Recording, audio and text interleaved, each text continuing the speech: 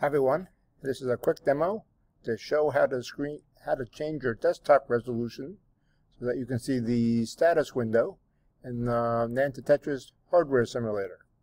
So let me start with the problem. I run the hardware simulator. There is a status bar down here somewhere, but it's currently cut off because of the desktop resolution. All right, so let's look at a fix.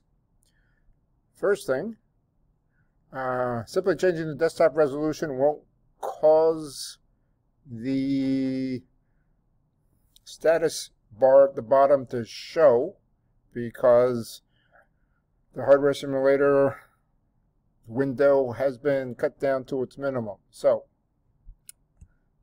terminate the hardware simulator.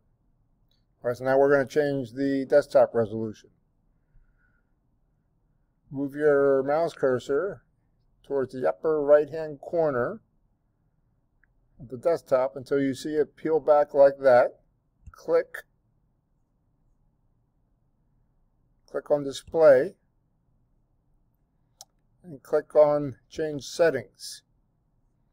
So we want to move the resolution slider to the right until we have a height of 900 pixels or more. And then we can get back to our desktop.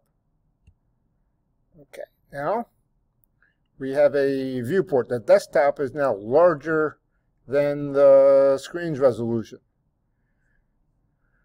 But by moving the mouse, we can move around the desktop, like you see me doing here.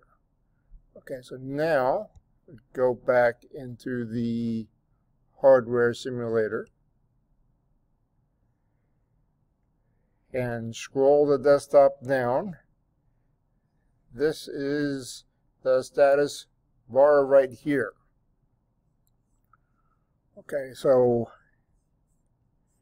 maybe a little disconcerting, a little confusing uh, to scroll the desktop around, but that's the workaround for dealing with uh, the fact that the hardware simulator's window uh, doesn't scale very well.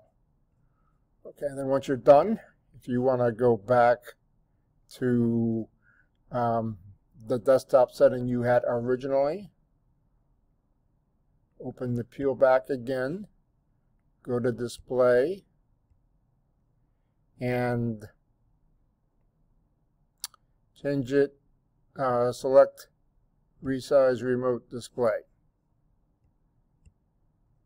And that'll change the desktop's resolution back so that it matches the resolution of, uh, of your laptop's display.